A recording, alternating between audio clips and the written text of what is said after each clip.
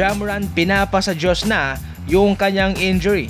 Yes mga sir, ayon pa sa kanya, ang kanyang magagawa sa ngayon ay magdasal na lamang patungkol sa kanyang kalagayan. Nagkaroon nga ho ng non-contact injury itong si Jamorant sa first quarter pa lang mga sir at siya ay inakay kaagad papunta sa locker room upang hindi na magkaroon ng pressure sa kanyang tuhod. At ayon pa kay Adrian Wojciechowski ng ESPN mga sir, nagkaroon ng sprained knee itong si Jamorant kung saan pa talaga nila kinakailangan ang tulong niya ay doon din naman siya nagkaroon ng injury. Sa ngayon ay nasa pangwalo sila na mayroong 9 wins and 10 losses. At kahit na sabihin nating pansamantala muna siyang mawawala, ito pa rin nga ay malaking dagok para sa kanila dahil ang goal ngayon ng mga team ay makapunta sa itaas at iwasan ang play-in tournament.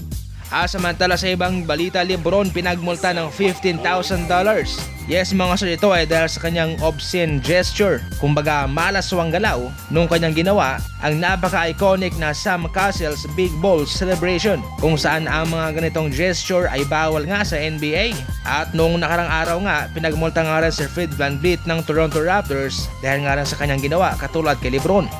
Ah, sa ating huling balita, Golden State Warriors panalo kontra sa Portland Trail Blazers. Yes mga sir, kung tutusin wala ka na masabi sa Golden State. Napakaganda ng kanilang ball execution. Lahat talaga ay nasa kanila. Steph Curry may 32 points, Andrew Wiggins may 25 points. At si Green may double-double, 12 points, 12 assists at 8 rebounds. Sa likod ng mangadang record ng Golden State sa likod ng mga performance ni Steph Curry, mayroong isang malalarong dapat nating pasalamatan. Walang iba kundi si Draymond Green.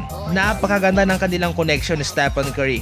At yung mga ginagawa niya kay Steph sa mga nakalipas na taon at sa ngayon ay kanyang ginagawa naman kay Andrew Wiggins. At kaya kung ating titingnan, napakadali para sa kanila ang pumuntos at ang humanap ng open man at kung paano gumawa ng tira. At samantala nakapasok nga rin sa step ng 6 3-pointers kanina kung saan 44 3-pointers na lang ang kulang upang malampasan niya sa all-time 3-pointers itong si Ray Allen. At baka hindi na makaabot sa playoff, malalampasan na yan ni Steph Curry. Para sa mga fast break balita, tumutok lang palagi and as always, thank you for watching. Peace out.